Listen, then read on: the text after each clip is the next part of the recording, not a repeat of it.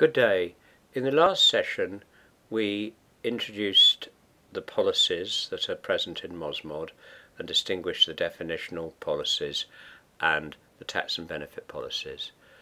In this session we're going to look at the tax and benefit policies in more detail.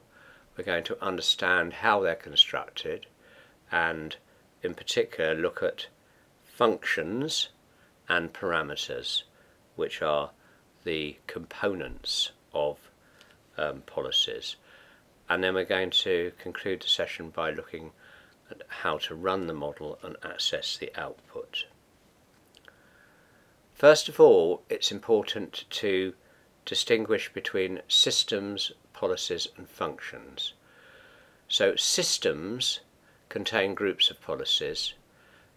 Policies are constructed from functions and it's the functions that perform the calculations to create the model output. Now what's a system? I'll just switch to the model here and point out what a system is. A system is actually a group of policies um, and it's represented by a column in the model. Um, the only system that's present in the version 1.0 of MOZMOD is the MZ underscore 2015 system, which is the set of rules um, that are required to simulate these policies for the year 2015. Okay. Back to the presentation, we can show all of this diagrammatically because, as I said, in, in, in MOZMOD version 1.0, there is one system, that's the 20, 2015 system that you can see there. Um, and then there are policies, and these are some examples. There's an income tax policy, um, direct social support program, basic social support program, and indirect taxes, including value added tax. And then we have functions, and just um, for example, the direct SSP contains eligibility tests and calculations to calculate amounts. Now functions are the building blocks of all policies in MOZMOD. Different combinations from the full set of functions allow the construction of almost any policy. And functions can be classified into three categories. Policy functions for implementing tax benefit policies, system functions for implementing the basic framework of the model. And there are also some special functions, but we don't use these in MOZMOD. In fact, in MOZMOD there are only 11 functions, three policy functions, ELIG, BenCalc, Arithop, and the remaining eight um, system functions of uprate, defvar, definput, defil, ilvarop, deftu, defconst and defoutput. Uh, and I'll be explaining all of these as, as we go through these sessions and I take people through the model itself.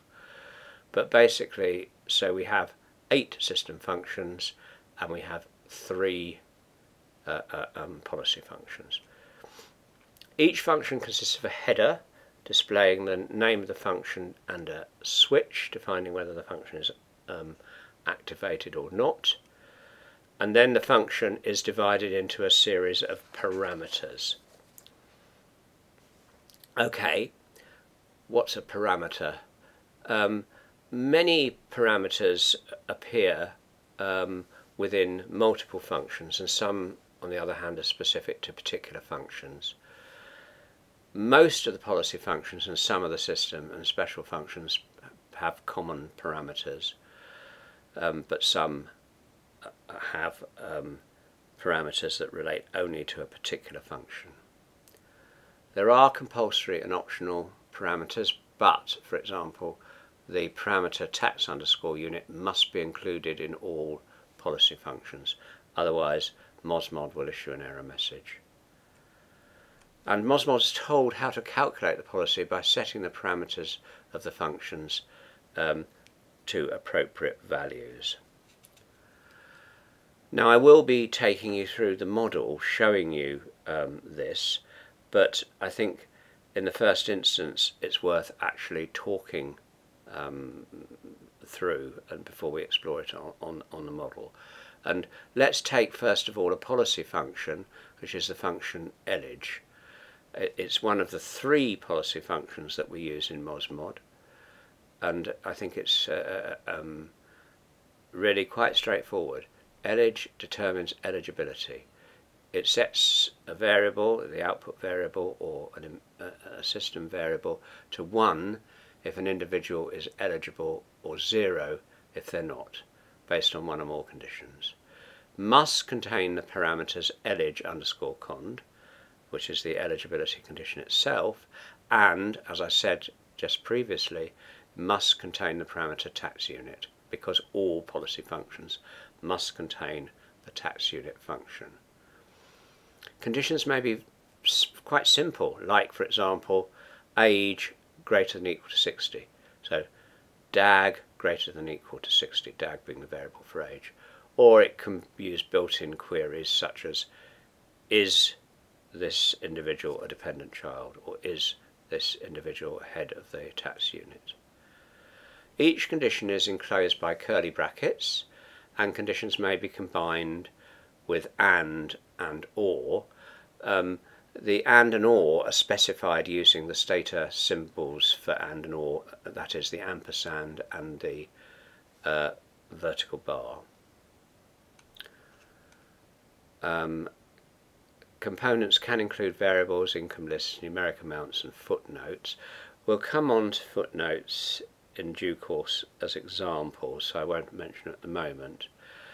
And conditions can be assessed at different levels. Um, and again, don't want to confuse the issue at the moment by explaining levels, though they are used within MOZMOD. Um, and, and I will talk about them when we go through the model itself.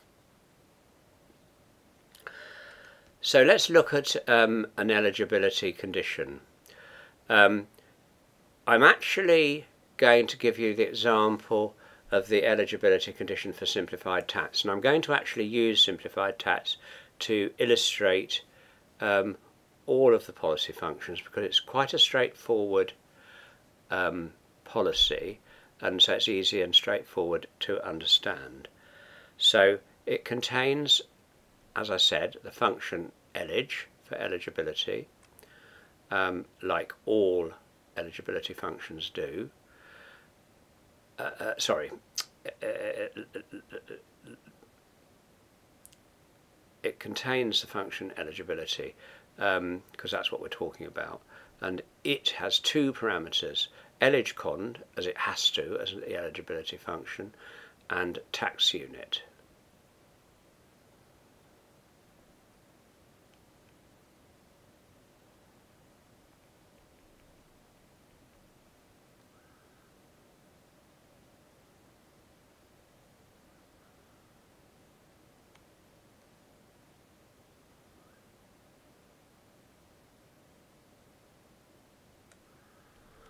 Okay, let me give you an example of eligibility. I'm going to um, scrap that.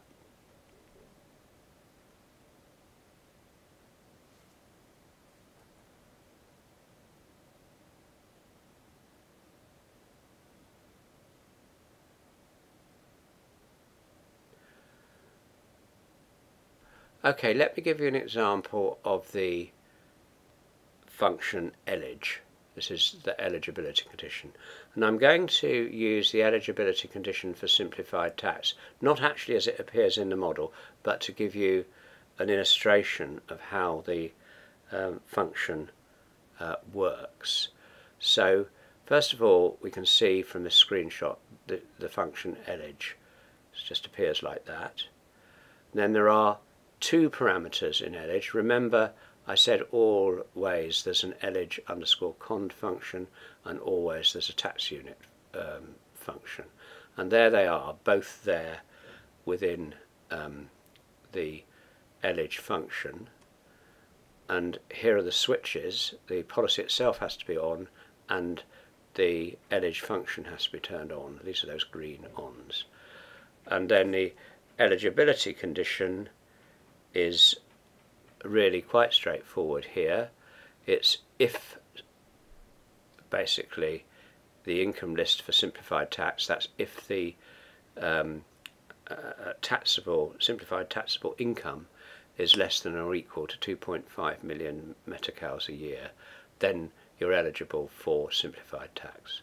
And that eligibility then sets a, a system variable which doesn't appear as 1 if that uh, income list for simplified tax is less than 2.5 million, if it's uh, less than or equal, I should say, to 2.5 million. If it's greater than 2.5 million, it will set that system variable to 0. Okay. I can also give you another example uh, by one of the eligibility conditions in um, direct um, social support program. Here it is, and this is the eligibility of child-headed households. It's one of the um, eligibility conditions that's possible in direct SSP. And here we have the function elige as before. We have this time actually four parameters in total. The elige condition, um, something called the level, which I mentioned to before, which is a, you could think of as a footnote, um, the output variable and the tax unit. Now, and the switches that I mentioned. Um, just looking at that, the eligible condition is is head of tax unit because we're trying to see whether it's a child-headed household, and that has to be at the level of the household because we're trying to identify who's the head of that household. So that's what that um, uh, level um, second parameter is about. So is head of tax unit hash 1 means go to the level 1 and that's at household level and their date, um, date of birth, uh, sorry, their age has to be greater than 11 and less than 18. Okay, and the output variable, which will be 1 if that's true, is is named i underscore child underscore headed, and the tax unit is individual because you're testing the individual, but you're trying to test whether he or she is head of tax unit. So the level for the is head of tax unit has to be at the household. I hope that's clear. Okay. Now I want to go to function arithop. Now function arithop is a simple calculator. It must contain the parameter formula and the compulsory parameter tax unit. And a formula is just what it says. It can include variables, income lists, numeric amounts, queries and, and footnotes. The main operators are um, smooth brackets, plus, minus, multiply or divide. Queries automatically calculate particular conditions, e.g. number of children in household, or carry out tests, e.g. whether or not the person is married. We saw a query in the um, function elige um, in terms of um, is head of tax unit but there are these other queries that could come within the calculator uh, function of arithop. Footnotes are used, for example, for applying upper and lower limits to a function or variable or specifying a level. And uh, I've already illustrated the uh, footnote as um, specifying a level when we looked at the level household in the elige uh, function that we have just gone through. So let's look at the arithop function. And I'm sticking with this example of simplified tax, as I say, not as it's implemented actually in the policy, but to give you um, a sense of how it works. Remember, with simplified tax, we've already looked at the function um, elige, and the eligibility was that their uh, turnover uh, income uh, was less than equal, less than or equal to 2.5 million um, meticals a year. And then the Arithop, which follows it, um, similarly has um,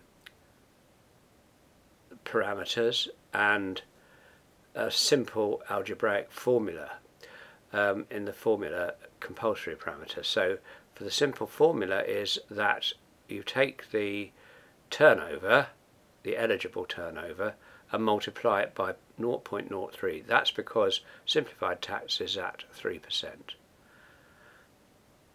And then you that generates the output variable ttn underscore s. So we have an ELIG followed by an arithop, and that's a very typical way of calculating a social benefit. So often do you get the, the an eligibility test followed by an arithmetical operation. And here's what it would look like if you um, implemented simplified tax with those two functions, putting the two functions out. So what we've got here is the ELIG function, which we discussed earlier. That is the turnover um, for simplified taxes less than or equal to 2.5 million per annum. And then the arithop, which we've just gone through, um, that you take that turnover and multiply it by 0.03, and that generates the output variable ttn underscore s. Okay, and that's a perfectly respectable and good way of implementing um, uh, simplified tax. Nothing wrong with it. Um, however, we do have another function, and this is what we use within um, Mozmod. That's the function BenCalc, because BenCalc combines the functionalities of ELIG and Arithop, and it's particularly useful for benefits, social benefits, and it's often referred to as the benefit calculator, hence BenCalc. But in this case, uh, it's a tax we're simulating, and it's very good also for taxes because it combines ELIG and Arithop into one neat function. Um, and, and that's how we actually do implement um, a simplified tax in Mozmod. So the eligibility conditions comp underscore cond and the formulae to calculate the value of the benefit assigned to eligible individuals or tax units is comp underscore per elig or comp underscore per tu, uh, depending on the circumstances. The same rules for syntax apply as uh, for elig cond in elig and formula in arithop. So comp cond is equivalent to elig cond in elig and comp per elig or comp per tu is the uh, um, equivalent of formula in Arithop. BenCalc can have multiple conditions with different amounts being assigned to the different conditions. So it's possible, it's a very simple and straightforward BenCalc we use for simplified tax, but it is possible for it to be much more complex. Um, so the eligibility conditions and corresponding formulae are specified as separate parameters when you've got um, multiple uh, um, um, conditions. So here it is as it actually appears in um, Mozmod, um, the actual um, simplified tax, but look at other um, policy functions. So I'll shift to the model. Okay, now let's just look at that um, simplified tax. Just as I showed you before, contains the um, uh, uh, um, eligibility condition, the comp cond, um, is the turnover. Remember, that's what the income list for simplified tax is. Is the turnover um, less than or equal to 2.5 million? And if it is, then the uh, formula comp per TU is applied. That is the income list for simplified tax, the turnover, is multiplied by 0.03, which is 3%. and the output variable ttn underscore s will contain the simulated uh, um, turnover tax.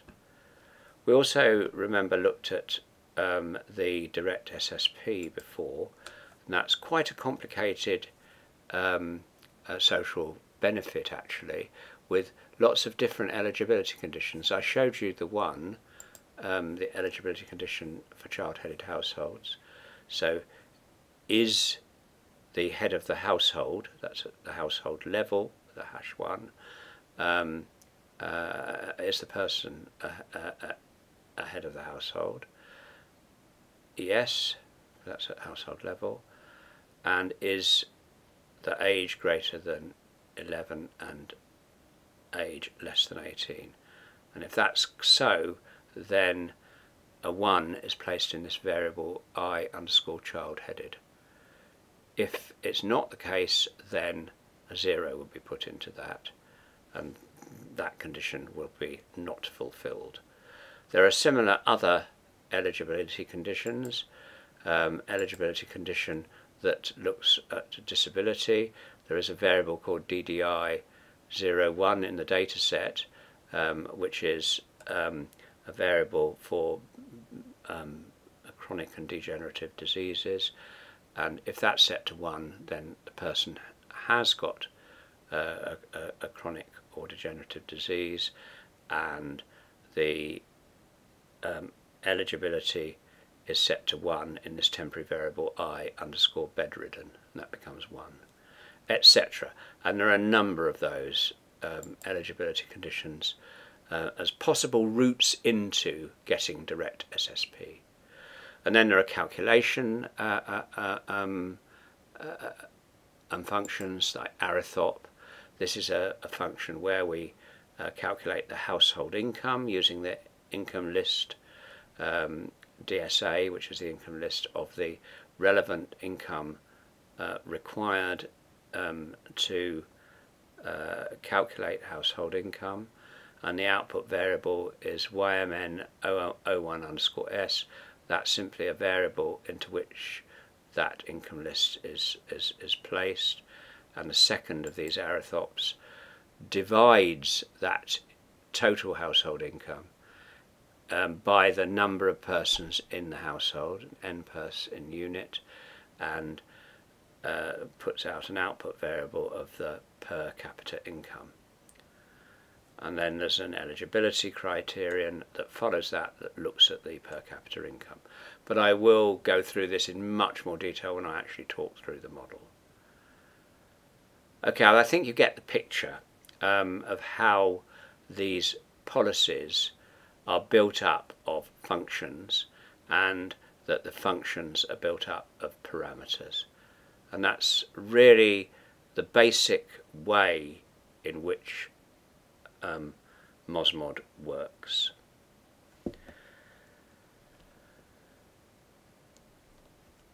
Let's go back now to the um, presentation and look at running the a, a, a micro simulation model. Okay. So Mozmod output is based on two inputs, household microdata and the rules on how to calculate taxes and benefits stored in the content file. Using these two information sources, the model calculates all taxes and benefits that have been implemented.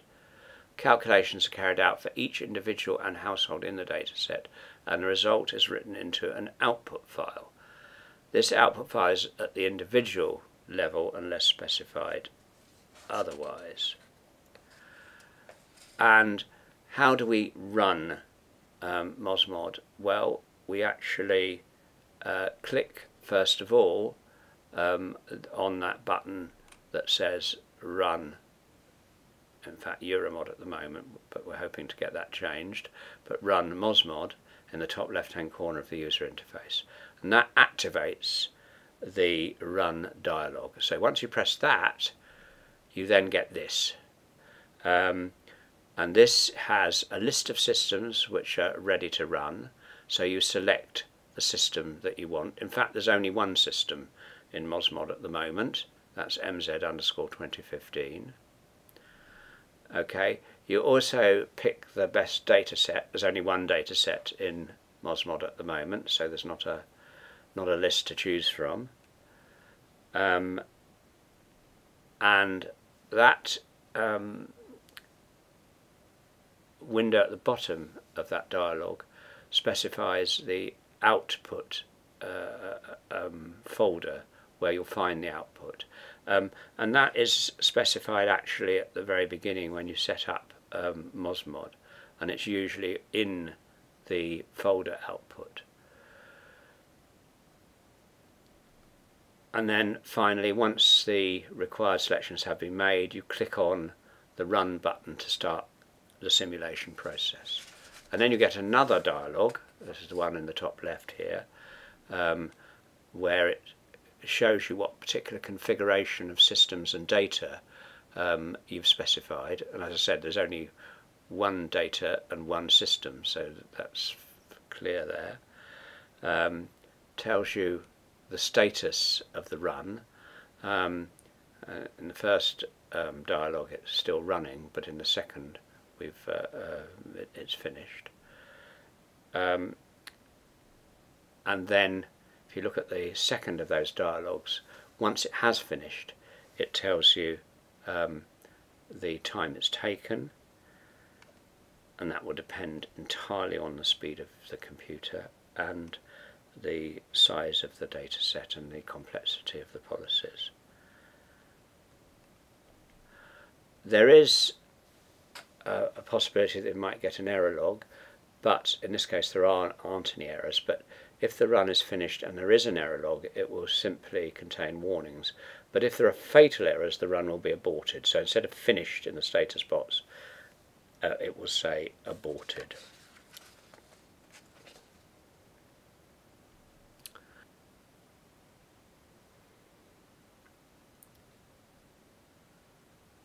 Okay, when Mozmod's finished its calculations, the output is stored as one or more text files at the storage place defined in the field output path, um, which is usually set when you launch the model.